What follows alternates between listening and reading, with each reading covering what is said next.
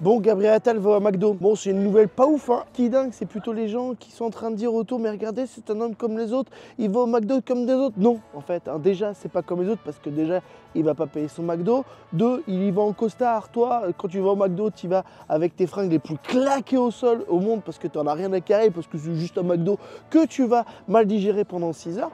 Et puis aussi, il y a quelqu'un qui fait sa commande à sa place. Et puis tu les vois tous autour, là, les, CSP plus de mes couilles, là. Ils sont là, mais attends, ça marche le clavier Attends, oh, dis c'est un écran tactile, c'est quand même pas mal. C'est la fois que j'étais à un McDo, c'était quand même en 1985, il y avait encore l'URSS. Non, voilà, dis donc, je clique dessus comme ça.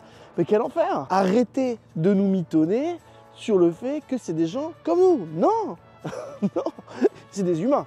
Attention, je dis pas que c'est des robots.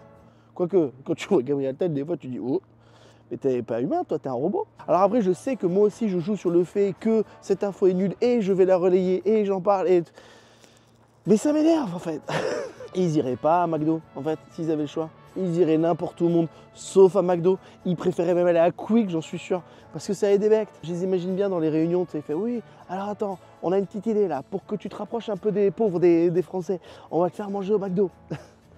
À une époque, c'était sandwich euh, jambon fromage. Tu vois, le jambon blanc, tout ça, machin. Euh, maintenant, ils disent non, McDo, c'est bien parce que les, futurs petits gros qui vont avoir du cholestérol, ils vont bien aimer le fait que j'aille à McDo. Mais quel enfer, putain Alors, quel restaurant pour quelle politique Ok? Poutou, pour moi, c'est un flunch. Marine Le Pen, il n'y a pas beaucoup de restaurants allemands.